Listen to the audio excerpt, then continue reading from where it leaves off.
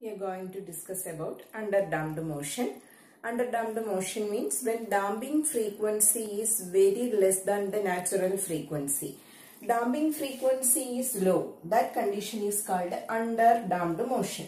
So the general solution of damped harmonic motion is x equal to a1 e raised to minus k plus root of k square minus omega 0 square into t plus a2 e raised to minus k minus root of k square minus omega 0 square into t where k is the damping frequency and omega 0 is the natural frequency. So based on the value of this k and omega 0 we get three cases. First case is k greater than omega 0 it is called overdamped motion.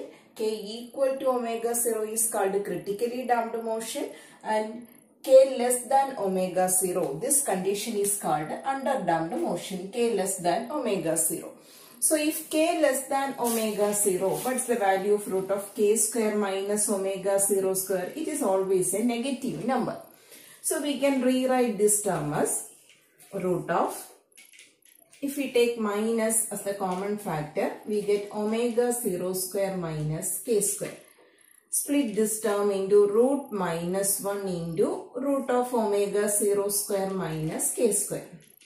Root minus 1 is i and root of omega 0 square minus k square. We put a substitution for this omega 0 square minus k square. That is omega.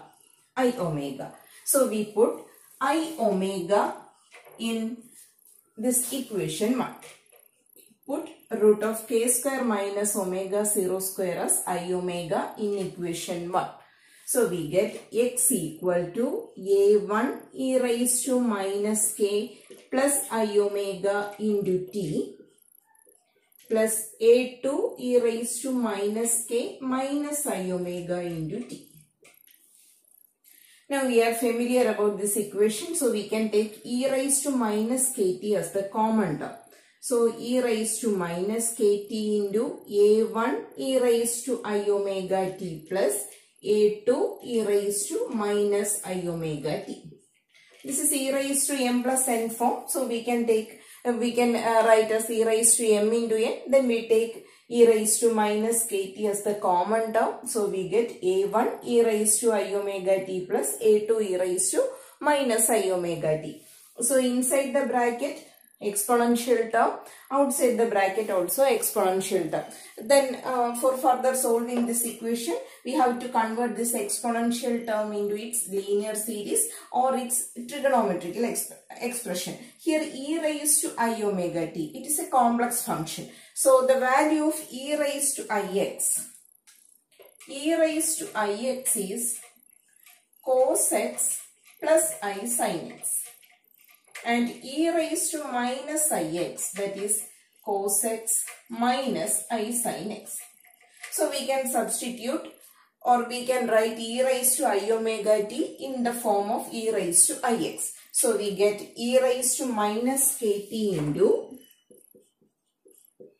a1 e raised to i omega t is cos omega t plus i sin omega t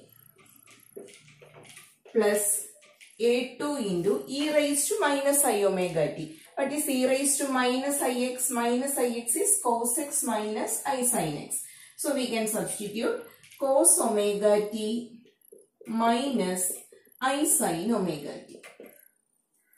Then open the bracket. We get x equal to while substituting.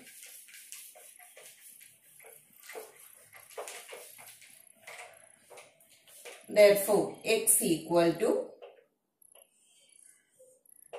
e raised to minus kt into a1 cos omega t plus a1 into i sin omega t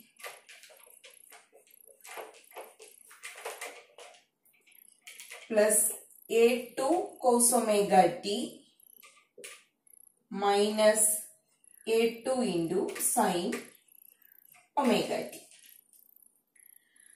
From this take cos omega t as the common term, then i sin omega t as the common term. From these two terms, take i sin omega t.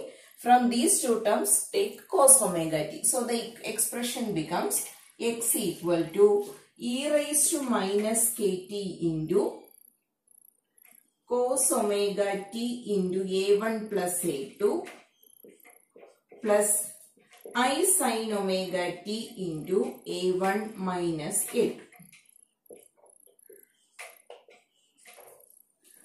So we can substitute two values for a1 plus a2 and a1 minus a2. Here x is a real quantity. Means x what is x? x is the displacement of damped harmonic under damped motion. So x is a real quantity. So this a1 plus a2 and i into a1 minus a2 these two quantities are always real. So we can substitute a1 plus a2 as a0 sine phi a real quantity. Then the next substitution is i into a1 minus a2. This is equal to a0 cos phi.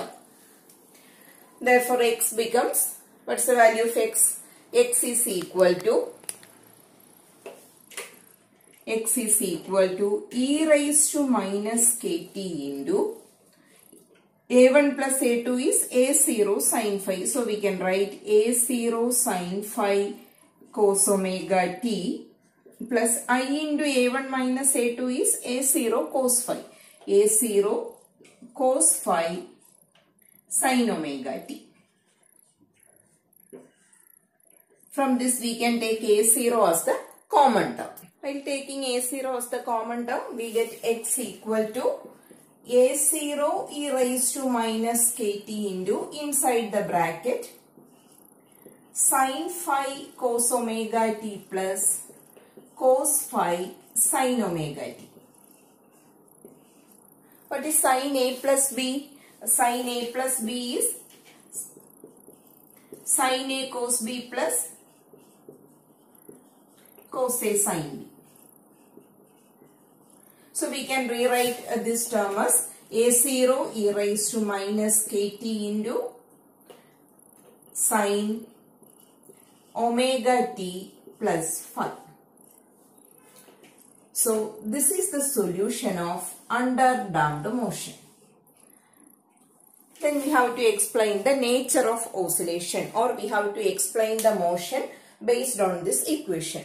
For this, compare this equation with the general solution of simple harmonic motion because it is a reference it is the reference equation x equal to a sine omega t plus phi in this motion body oscillate with constant amplitude this is the first case this is the equation of simple harmonic motion so compare this equation if it is equation number 2 compare this equation with the general solution of simple harmonic motion What's the general solution x equal to a sine omega t plus pi. First check whether the equation contains sine function or cos function. A sine function is there. So we can state that motion is periodic or oscillatory motion due to the presence of sine function. Then the second term is a, amplitude. What is amplitude? Here amplitude is a0 e raised to minus kt because it is not a constant. One term is associated with A0 that is e raised to minus kt.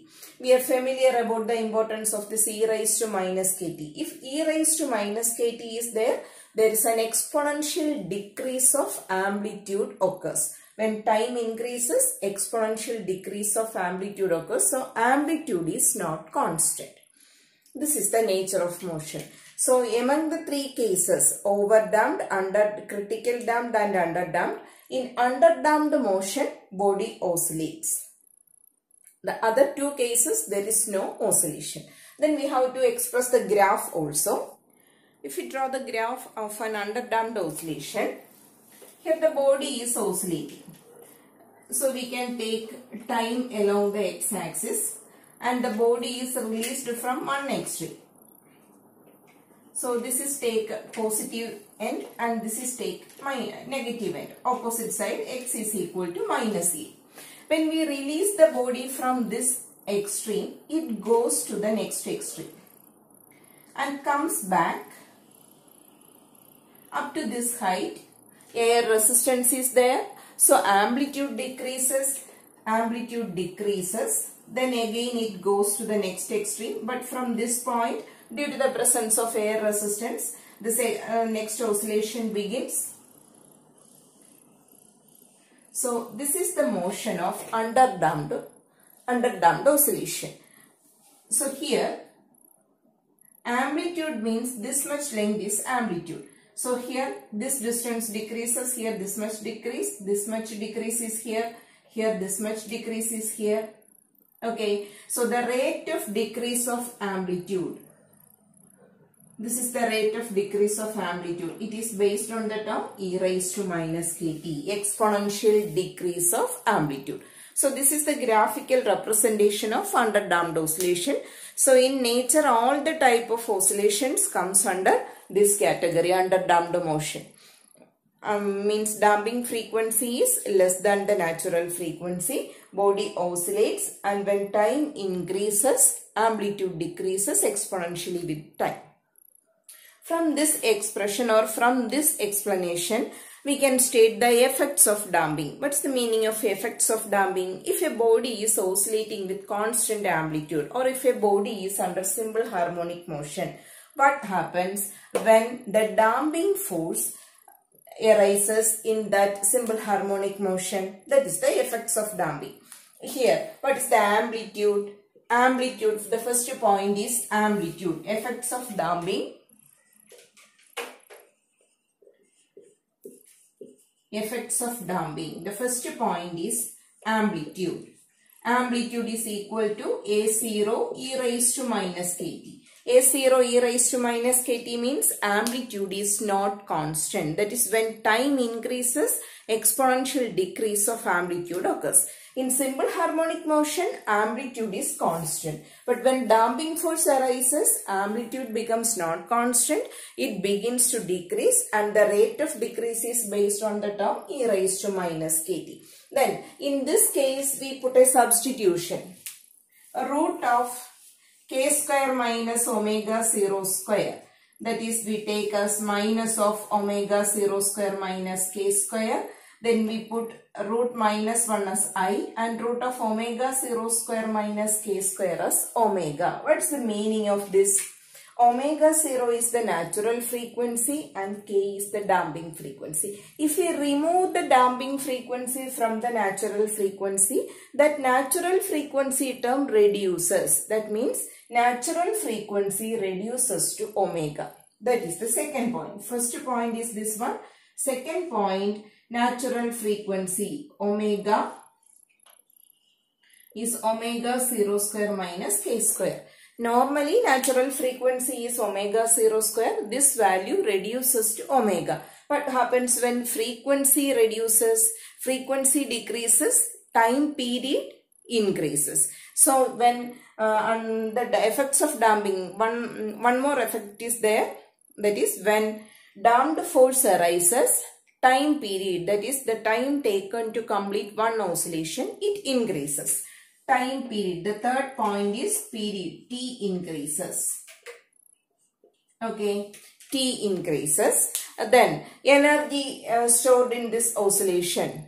After completing uh, each oscillation, the energy is found to be decreasing. Okay, because the energy stored is used to overcome this air resistance. So, the energy stored in the damping body decreases after every oscillation. These are the effects of damping. First point is amplitude decreases A0 e raised to minus kt. Second point, natural frequency omega 0 reduces to omega. Then if frequency reduces, time period increases. Then the energy stored in the oscillating body, it decreases after every oscillation. Okay, question is Q factor of damped harmonic motion. Q factor means quality factor. Quality factor means it is the number of oscillation produced by an oscillating body before it comes back to the equilibrium position. Okay, before it comes back to equilibrium position means before it comes back to rest. That is the number of oscillation produced by an oscillating body. When a body is released from one extreme, it undergoes oscillation. After some time, the oscillation dies out due to the presence of air resistance. Quality factor means the number of oscillation produced by an oscillating body before the body comes back to rest or equilibrium position. So a mathematical equation is there to calculating this Q factor. If a body produces large oscillation, it is not possible to count the number of oscillation. So we have, uh, so a equation is required to calculate the Q factor. So by using that formula, we can calculate the number of oscillation produced by an oscillating body. That is Q factor is equal to 2 pi into energy stored by energy loss per period. This mathematical formula is used to, calculate the quality factor of a damped harmonic motion or a forced harmonic motion. It is a general formula. So we have to derive the expression for this quality factor. So we know the energy or total energy of an oscillating body. We studied in the later classes energy of an oscillating body energy of an oscillating body comma E is equal to half K A square. K means K is the um, uh, sorry force constant and A is the amplitude. Okay, K is the force constant, A is the amplitude. But for damped harmonic motion, what's the value of amplitude? In damped harmonic motion, damped motion amplitude A is equal to A0 e raised to minus kt. This expression, we got this expression from under damped motion. So amplitude is equal to A0 e raised to minus kt uh, because under damped motion is taken as the damped harmonic motion. This other two cases, over damping and critical damping, there is no oscillation. So we take under damped motion as the damped harmonic motion amplitude is A0 e raised to minus kt. So the expression for energy is E is equal to half k into A0 square e raised to minus kt. A square. So A0 e raised to minus 2 kt. This is the expression for energy. If we put when t is equal to 0, uh, what's the value of energy? When t is equal to 0. What's the value of energy? Energy is equal to E0. E0 is equal to half k A0 into e raised to 0. e raised to 0 is 1. So we get half k A0. This is the initial value of energy. Then What's the total value of energy if we put half k A0 square as E0, half k A0, sorry, A0 square is there.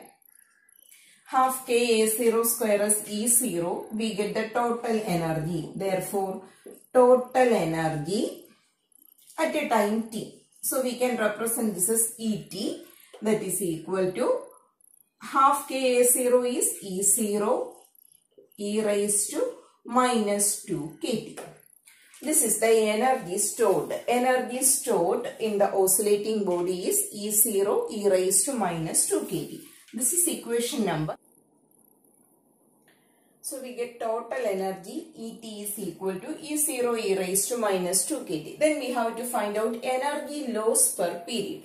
So after one period, what is the value of energy? After one period,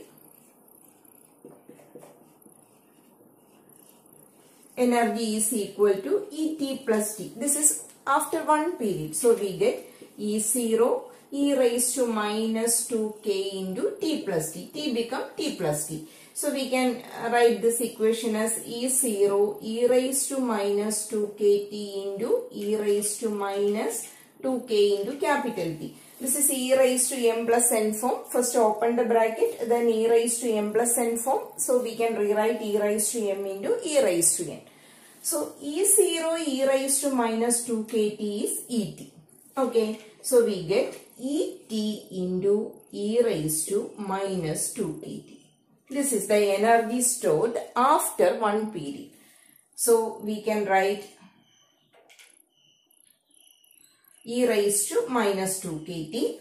Then e raised to minus 2 kt we can put the substitution et into e raised to what is e raised to minus x e raised to minus x is 1 minus x by 1 factorial plus x square by 2 factorial minus etc. This is the expansion of e raised to minus x. So if we put the value of x as minus 2 kt, we get 1 minus 2 kt by 1 factorial plus 2 square k square t square by 2 factorial plus etc. But this is a very small term. Okay. This is this term is very very small. So we can neglect the higher powers. Then we get 1 minus 2 kt. So Et into e raised to minus 2 kt is 1 minus 2 kt by 1 factorial. 1 factorial is equal to 1. So 1 minus 2 kt. Et into 1 minus 2 kt. So we get the value of energy after one period. Okay. Et minus 1 minus 2 kt. This is equation number 2. Then we get energy stored as Et and after one period the energy um, of the oscillating body is Et into 1 minus 2 kt. So from these two equations we can find out the energy loss per period. What is energy loss per period? Initial energy or the total energy minus energy after one period. Okay. So energy loss per period. Energy loss per period is equal to Et minus Et plus T. So substitute the values Et minus Et plus T is we get 1 minus 2 kt. 1 Et into 1 minus 2 kt. Open the bracket. Et minus Et into sorry plus Et into 2t. Okay. So cancel Et minus Et. Then we get Et into 2 kt. So we get Et into 2 kt. This is the energy loss per period. So this is equation number 3. Then we can find out the quality factor. Quality factor from we get energy stored is equal to Et. Energy loss per period is equal to Et into 2 kt. So put the values of energy stored Q factor is equal to 2 pi into energy stored is Et by energy loss per period. What is energy loss per period? Et into 2 kt. Okay, so we can cancel this Et and Et. Then we get 2 pi by 2 kt. We can rearrange this term as 2 pi by t into 1 by 2k. Write it. Two, uh, write it separately as two terms. 2 pi by t as one term and 1 by 2k as the second term. What is 2 pi by t? 2 pi by t is the angular frequency which is equivalent to omega. Okay. So this is omega into the second term 1 by 2k. 1 by 2k is called tau. Tau is the relaxation time. So we can write Q factor. Q factor Q is equal to omega into tau. This is the general expression of quality factor. Omega is the angular frequency and tau is the relaxation time. So what is the relaxation time? Total energy of an oscillating body is Et equal to E0 into E raised to minus 2 kt. Okay. If we take, if T is equal to 1 by 2k where k is the damping factor e raised to a0 e raised to minus kt what is k k is the damping frequency so if we take this time t is equal to 1 by 2k 1 by 2k then what's the value of et therefore et is equal to E0 into e raised to minus 2k into t. t is 1 by 2k. 1 by 2k. So this 2k, 2k cancel. We get E0 into 1 by e. E0 into e raised to minus 1. Okay. e raised to minus 1 is 1 by e. So this particular time at which energy value is equal to 1 by e times its initial energy. That is called a relaxation time. Okay, here we get Q is equal to omega into tau, where tau is called relaxation time. What is relaxation time? Relaxation time is the particular time at which the energy of oscillating body becomes equal to 1 by E times its initial energy. That particular time is called relaxation time. So by knowing the angular frequency and relaxation time, we can calculate the quality factor Q is equal to omega into tau. Okay.